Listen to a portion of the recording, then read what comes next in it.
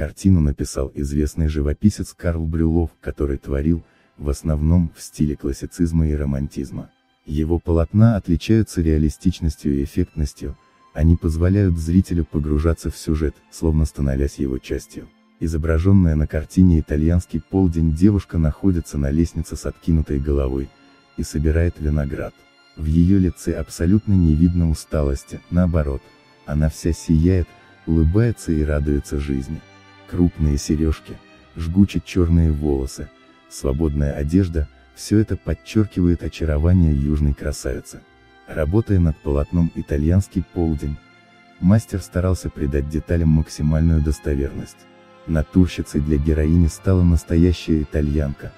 Описал картину художник в настоящем винограднике, озаренном полуденным солнцем.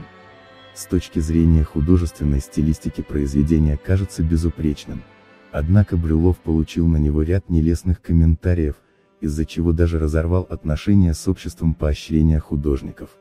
Собственно, это общество и являлось заказчиком картины. Ее попросил написать император Николай I в пару к картине «Итальянское утро Брюлова», которая была подарком его супруге Александре Федоровне.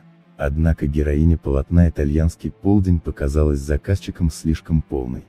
То есть натурщица оказалась недостаточно изящной, за что художнику пришлось оправдываться. При этом Брюлов был, конечно, расстроен и раздражен такими замечаниями. Нелестный прием картины и необходимость оправдываться заставили художника принять решение, которое привело к крутому повороту в его судьбе.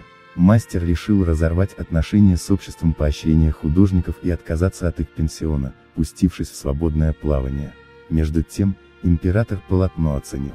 И итальянское утро, и итальянский полдень висели в Зимнем дворце в личных покоях императрицы Александры Федоровны.